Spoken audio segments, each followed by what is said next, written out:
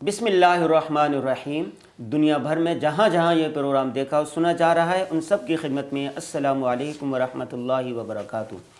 ناظرین و سامعین، آپ دیکھ رہے ہیں J T R media house کا سلسلہ درس قرآن کا پروگرام، یا ایوہ الناس۔ اس میں قرآن پاک کے منتخب آیات کا ترجمہ، تفسیر، تشریح، احکام اور اس سے اخذ ہونے والے پیغامات پر گفتگو کی جاتی ہے۔ آج ہمارا موضوع ہے سورہ لقمان۔ پوری سورہ لقمان کی تفسیر تشریح وغیرہ تو ہو چکی ہے۔ آج ہم اس کا خلاصہ بیان کریں گے۔ پہلے دو رکوع کا خلاصہ بیان کریں گے۔ خلاصہ بیان کرنے کے لیے ہمارے ساتھ موجود ہیں حضرت مولانا مفتی عبد المنیم فائز صاحب۔ آپ جامعۃ الرشید کراچی کے استاد ہیں۔ مختلف موضوعات پر خطبات دیتے ہیں درس دیتے ہیں۔ السلام علیکم ورحمۃ اللہ۔ وعلیکم السلام ورحمۃ اللہ وبرکاتہ۔ مفتی صاحب سب سے پہلے آپ سورہ لقمان کا پوری سورہ لقمان کا خلاصہ بیان کر دیجیے جی بسم اللہ الرحمن الرحیم۔ سورہ لقمان الحمدللہ مکمل ہو چکی ہے۔ جی۔ تو یہ جو سورہ لقمان ہے اس کا موضوع جو ہے وہ حکیم لقمان ہے اور حکیم لقمان آ، رہ- کے نام پر ہی اس کا اس کا نام رکھا گیا ہے۔ جی۔ تو یہ جو سورہ لقمان اس کے اندر اللہ تعالیٰ نے جو بنیادی میسیج دیا ہے، وہ یہ دیا ہے کہ دنیا کے اندر بہت بڑے بڑے حکیم بھی گزرے ہیں۔ اور خصوصاً جو اس وقت مشرقین مکہ تھے، ان کے ہاں حکیم لقمان کا بڑا چرچا ہوتا تھا۔ وہ لوگ جو تھے، وہ جب کہیں جاتے تھے، کیونکہ وہ لوگ بھی بڑی تسلسل سے ٹریول کرتے تھے۔ تو ان کا شام، یمن، آنا جانا ہوتا، اس طرح دوسرے ملکوں میں جاتے۔ تو وہاں سے وہ چھوٹی موٹی کوئی کتابیں، کچھ حکیم لقمان کے اقوال، اس طرح کی لکھی ہوئی چیزیں وہ لے کر آئے۔ اور وہ آپس میں پڑھتے تھے اور ذکر کرتے تھے حکیم لقمان کا کہ اتنا دانا اور اتنا سمجھدار آدمی بھی وہاں پر تھا۔ اور چونکہ حکیم لقمان کا جو علاقہ ہے وہ بھی یہاں سے ملتا جلتا ہے کیونکہ ایک طرف میں جزیرہ نما عرب ہے اور درمیان کے اندر بحیرہ ہے، سمند بحیرہ احمر ہے اور اس سمندر کے پار دوسری طرف میں یہ ایلا کی وادی تھی جو سوڈان میں یہ موجود ہے۔ تو اس بستی کے اندر حکیم لقمان رہتے تھے، اس لیے وہاں کی قصے، کہانیاں، روایات وہ ان میں رائج تھیں۔ تو اللہ تعالیٰ نے اس کے اندر آیت، اس میں میسیج یہ دیا ہے کہ تم جو دنیا کے ایک بڑے ذہین ترین آدمی کے گرویدہ ہو، کہ لقمان نام کے ایک حکیم تھے، اللہ تعالیٰ یہ میسیج دے رہے ہیں کہ وہ ذہین ترین آدمی بھی اللہ کی وحدانیت پر یقین رکھتے تھے۔ اور وہ انتہائی سمجھدار آدمی بھی اپنے بچوں کو ان کے بچے کے دماغ میں بٹھا کر گئے تھے کہ بیٹا اللہ کے اوپر اللہ کے ایک ہونے پر اور ال- ایک اللہ کی عبادت کے اوپر یقین رکھنا ہے تم نے۔ جی۔ تو جب وہ اتنا ذہین آدمی اگر اللہ تعالیٰ کا اتنا برگزیدہ بندہ تھا اللہ کی اتنی عبادت کرتا تھا اور اپنی اولاد کو بھی اللہ کی عبادت پر لگا کر گیا اور عقیدہ ان کا صحیح کر کے گیا ہے تو تم کیوں اپنی اولاد کو نیک بننے سے روکتے ہو؟ تم کیوں اپنی اولاد کو منع کرتے ہو کہ وہ حضور صلی اللہ علیہ وسلم کے پاس آ کر نہ بیٹھیں؟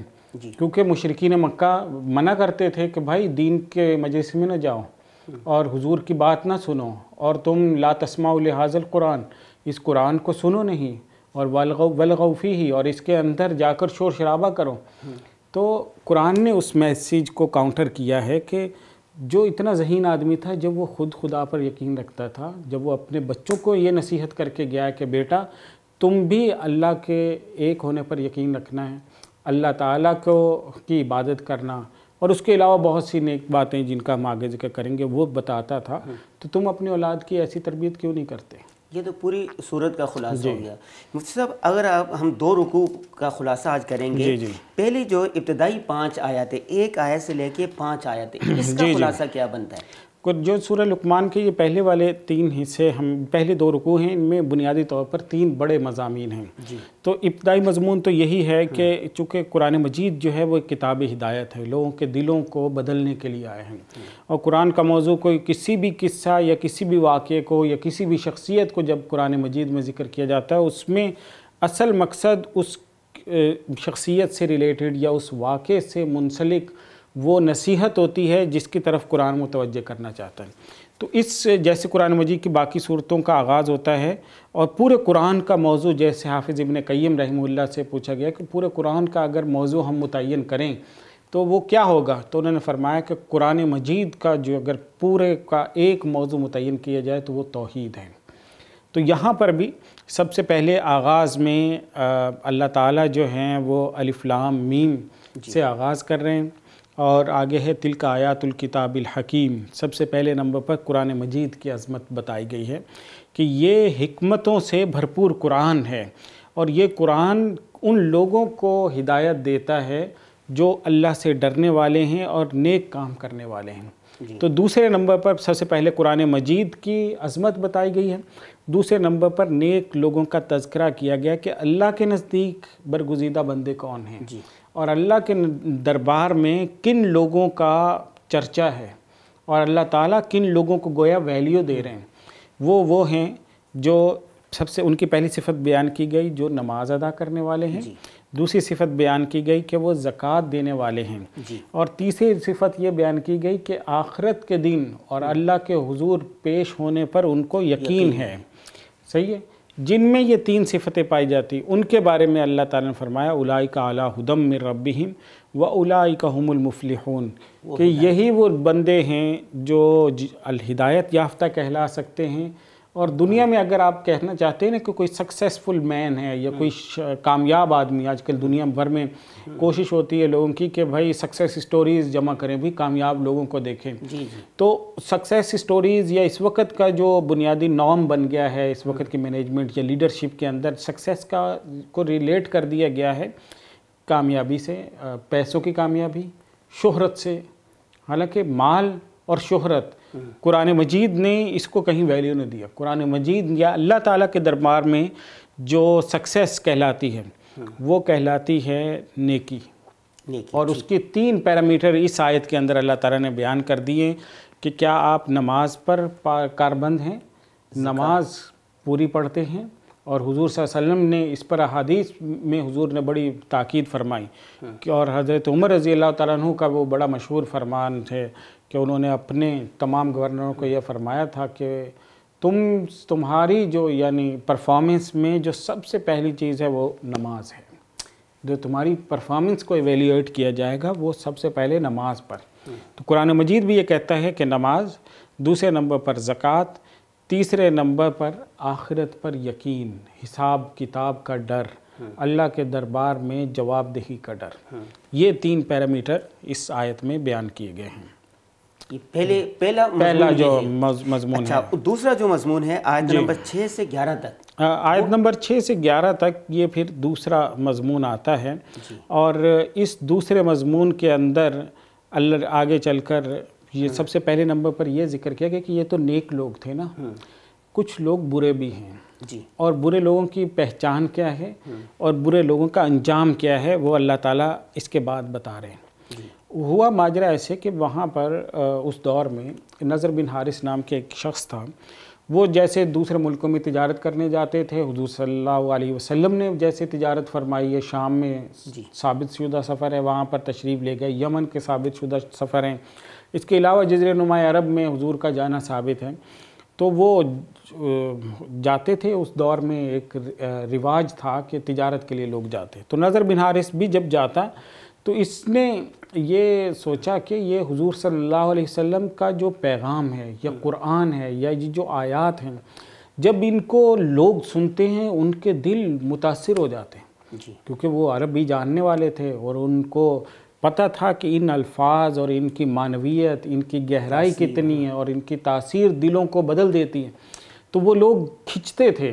اور باوجود اس کے کہ علل اعلان کرتے تھے کہ کوئی نہیں سنے گا رات کو چھپ چھپ کے جا کر سنتے تھے۔ خام کان لگا کر رات کے اندھیرے میں سنا کرتے تھے۔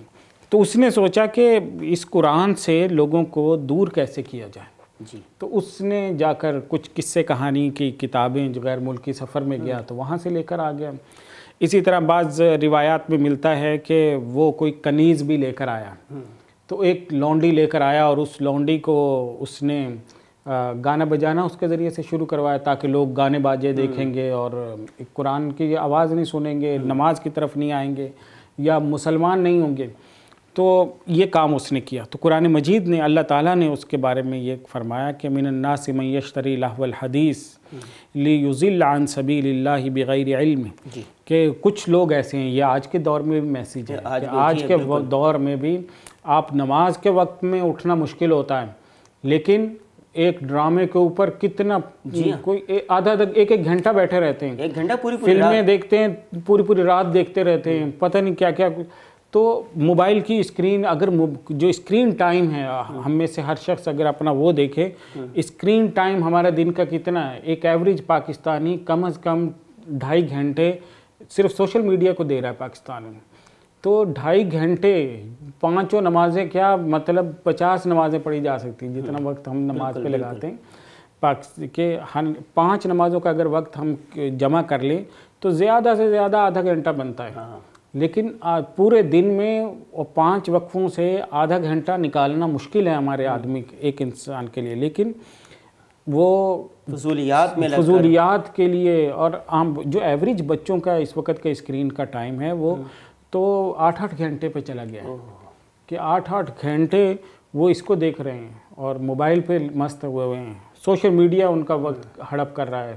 سارے اسکلز برباد ہوئے پڑے جو نئی جنریشن ہے وہ لاسٹ جنریشن اسے کہتے ہیں۔ یعنی یہ پوری نسل جو ہے وہ ہمارے ہاتھوں سے نکل گئی ہے۔ اسی طرح الیکٹرانک میڈیا پر آپ دیکھیں جی۔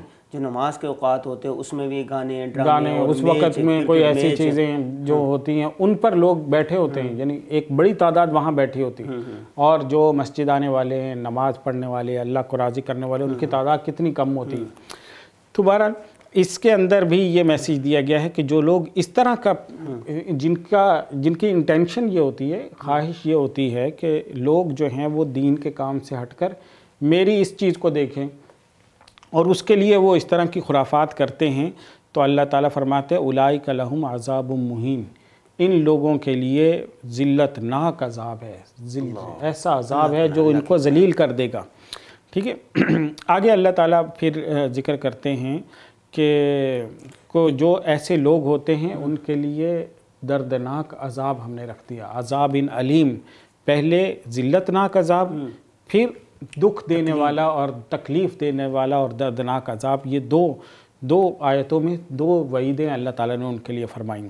اور آگے پھر ذکر کیا ہے کہ جو نیک لوگ ہوتے ہیں اللہ کے وعدوں پر یقین رکھنے والے قیامت کے دن پر یقین رکھنے والے ہیں۔ جی۔ تو اللہ تعالیٰ نے ان کے لیے پھر جنتیں مقدر کی ہیں۔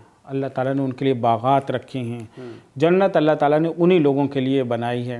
اور پھر اللہ تعالیٰ اپنی قدرت بتاتے ہیں کہ تم اپنے اس خدا سے، جس کی اتنی قدرت تم دیکھتے ہو، تم زمین، آسمان، سورج، چاند، ستارے، یہ شجر و حجر، یہ ہوا، یہ پانی، یہ فضا، یہ ہوا، یہ سب کچھ دیکھتے ہو، پھر بھی تم اپنے اس خدا کو بھول جاتے ہو جس نے یہ سب بنایا ہے۔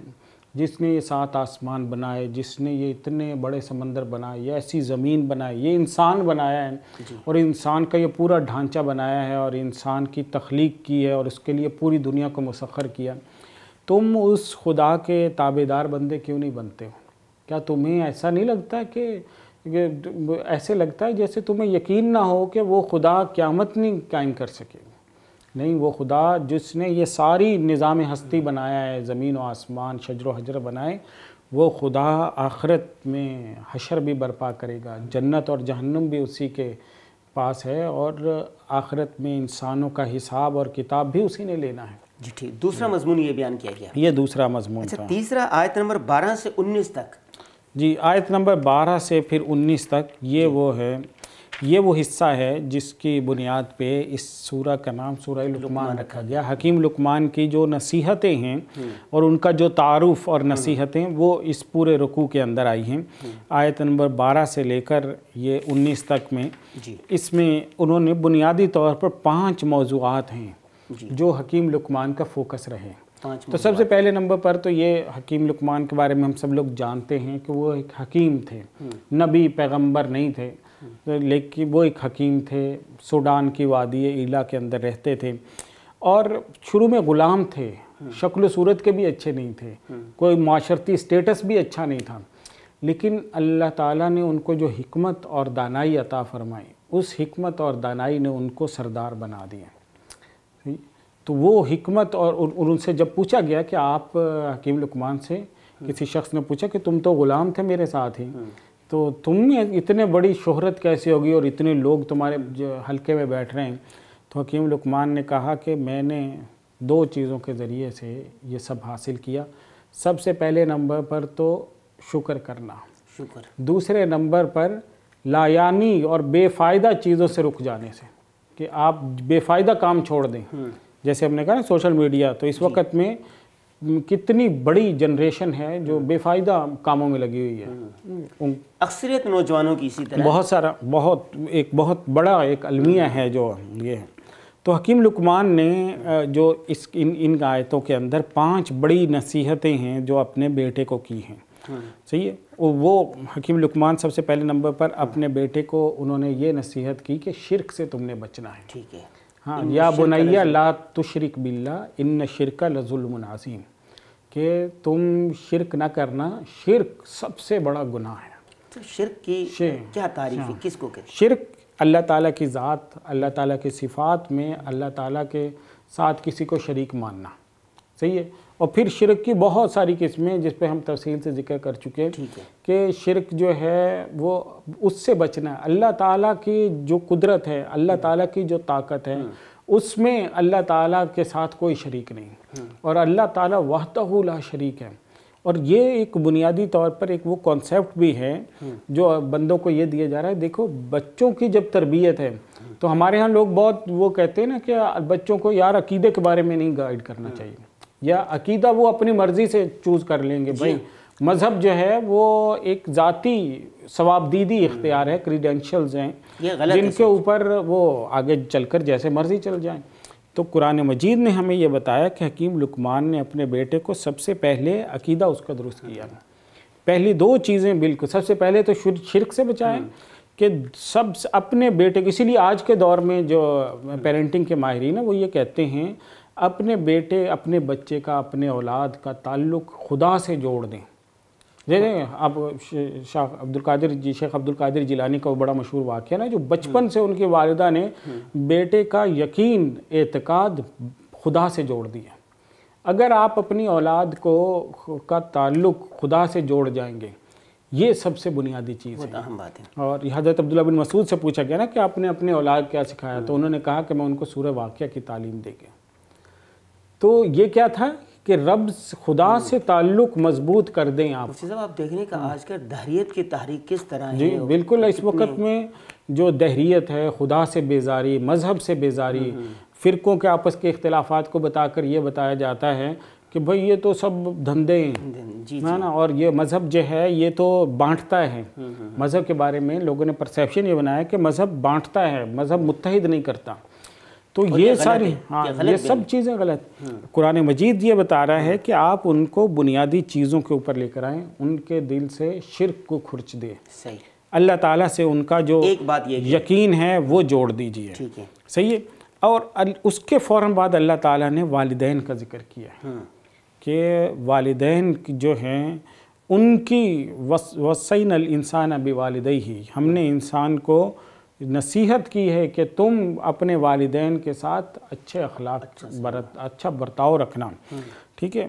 اور یہ ایک مانی ہوئی حقیقت ہے جی۔ کہ والدین کا جو جو اس وقت میں ایک سب سے بڑا جو مسئلہ معاشرے میں آ گیا کہ والدین سے وہ جو عقیدت کا تعلق ہے والہانہ تعلق ہے وہ جو ایسے معاشروں کے اندر خصوصاً جہاں پر یہ جدید یا مغربی یورپین ہاں۔ طرز تربیت آ گیا ہاں۔ وہاں پر والدین سے وہ والہانہ تعلق جو ہمارے ہاں مشرقی روایتوں میں ہوتا تھا وہ ختم ہو گیا۔ اسلام نے دیا ہے۔ جو اسلام نے دیا ہے وہ ختم کر دیا گیا۔ کہ آج کل تو یوں کہا جاتا ہے کہ بھئی آپ ہم لوگ آپ ہم لوگوں کی تربیت کر رہے ہو پار رہے ہو دے رہے ہو تو آپ کے والدین نے آپ کو کیا؟ آپ کو کیا۔ تو آپ نے کوئی احسان نہیں کیا ہم پر؟ ہاں آپ نے کوئی ہم نے نہیں دیا۔ اچھا آگے دیکھیں۔ ہاں۔ وَإِن جَاهَدَاكَ عَلَىٰ أَن تُشْرِكَ بِي مَا لَيْسَ لَكَ بِهِ عِلْمِ فَلَا تُتِعْهُمَا وَصَاحِبْهُمَا فِي الدُّنْيَا مَعْرُوفًا۔ جی۔ دوسرے نمبر پر انہوں نے یہ کہا کہ دیکھیں والدین کا اتنا بڑا رتبہ ہے لیکن اس کے باوجود بھی ہاں۔ والدین عقیدے کے اوپر اثر انداز نہیں ہو سکتے۔ اللہ کے ساتھ جو آپ کا تعلق ہے نا ہاں۔ خدا کو کی عبادت ہے توحید کا عقیدہ ہے۔ اور اسلام اور اسلام کے نظریات ہیں۔ تو وہ ان کو سپر محسی حاصل ہے۔ وہ بالا تر ہیں۔ وہ پہلے نمبر پر ہیں۔ ہاں۔ والدین کی یہ ساری عظمت اپنی جگہ پر ہیں ہاں، ہاں۔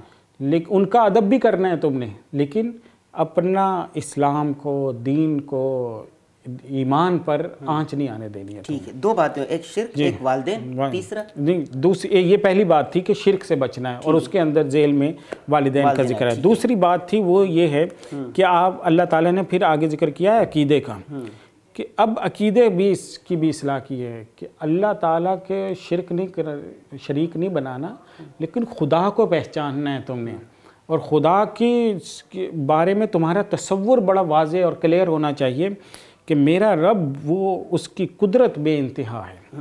وہ کیا ہے کہ یا بنیا انہا ان مسقال حبت من خردل کہ حکیم لقمان نے اپنے بیٹے سے یہ کہا کہ دنیا کے اندر اگر رائی کے دانے کے برابر بھی کوئی چیز ہو نا یعنی دنیا میں کوئی مائنر ترین اس دور میں یہ تھی یعنی کوئی ایٹم ہو ایٹم کا لاکھواں کروڑواں حصہ ہو جائے یا ڈی این اے کا کوئی کروڑواں حصہ ہو جائے تو اللہ تعالی اور وہ کسی پہاڑ میں ہو کسی بیابان میں ہو کسی جنگل میں کسی دور افتادہ جگہ پر ہو تو اللہ تعالیٰ یہ فرماتے حکیم لقمان نے اپنے بیٹے کو کہا کہ یاتی بھی اللہ اللہ اس کو بھی لانے پر اس کو جمع کرنے پر اس کے اوپر بھی قدرت رکھتے ہیں۔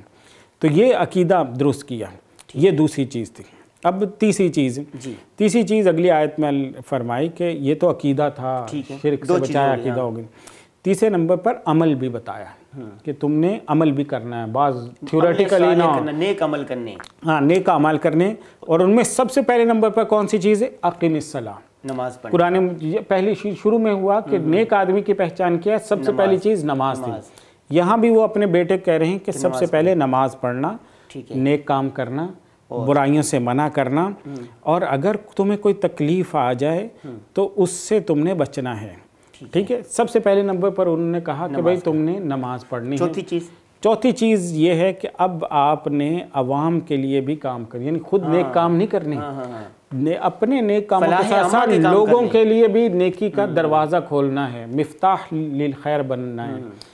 نیکی کا دروازہ بننا ہے تم نے۔ اور نیکی کا دروازہ کیسے بننا ہے؟ کرنی کہ دوسروں خود کو۔ دوسروں کو نیکی کے راستے پر لے کر آؤ ترغیب دیں انہیں قرآن کی طرف بلائیں نماز کی طرف بلائیں۔ اور جب آپ لوگوں کو بلانے جائیں گے لوگ کڑوی کسیلی باتیں کہیں گے لوگ کچھ نہ کچھ باتیں کہیں گے لوگ آپ کا حوصلہ توڑیں گے سخت باتیں کہیں گے وصبر علی ما سابق اس پر صبر اس پر تم نے صبر بھی کرنا ہے۔ آخری بات کیا ہے؟ اور آخری بات ہے لا تسعر خدک للناس ولا تمشی فی الارض مرحا۔ کہ اب معاشرت بھی سکھائی۔ جو ہمارے ہاں آج کے دور میں پہلے نمبر پہ لوگ سکھاتے ہیں نا کہ بھائی بیٹا پاؤں اٹھا کے چلو کمر سیدھی رکھ کے چلو سر نیچے نہیں کرو جھک کر نہیں چلو۔ ایسے تو بیٹھنے کا یہ طریقہ ہے صحیح سے بیٹھو اس طرح بیٹھنا ہے اس طرح چمچ پکڑنا ہے اس طرح پانی پینا ہے۔ یہ آخر میں سکھایا جا رہا ہے کہ معاشرت بھی حکیم لقمان نے اپنے بیٹے کو بتائی کہ آپ نے لوگوں کے ساتھ تیوریاں چڑھا کر نہیں رہنا۔ لوگوں کو مسکرا کر دیکھنا ہے۔ یہ ماشاءاللہ بیان کر دے تین موضوعات کو ہم نے بیان کیا ہے۔ اس جی۔ سے عوام کو کیا پیغام ملتا ہے؟ اس سے سبق کیا ملتا ہے؟ یہ ایک سبق سب سے پہلے نمبر پہ یہی سبق میں سب سے بنیادی جو قرآن کا میسیج اس میں یہ ہے کہ جو اتنا بڑا حکیم آدمی بھی جب اپن جو دنیا کا مانا ہوا دانشور ہے جیسے ہمارے یہاں لوگ کہتے ہیں نا یار انفلوئنسر کون ہے؟ یہ دانشور کون ہے اس وقت میں؟ یہ وہ دانشور ہیں جو صدیوں سے جن کی دانش مانی ہوئی ہے۔ وہ اپنے بچوں کی اس طرح تربیت کر رہے ہیں تو ہم کیوں نہیں کر رہے؟ ٹھیک ہے۔ اور ہم خود اپنے آپ کو بھی دیکھیں یا اپنے بچوں کو دیکھیں اگر ہم نے تربیت کر لی کہ کیا ہم نے انہی اصولوں پر تربیت کی ہے کہ نہیں کی؟ ٹھیک ہے۔ جی۔